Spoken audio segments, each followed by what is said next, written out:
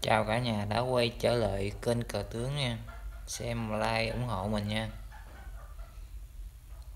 Đây là quán cờ diễn ra những, giữa những kỳ sĩ nổi tiếng nha cả nhà. Dùng à, cặp xe biên nha.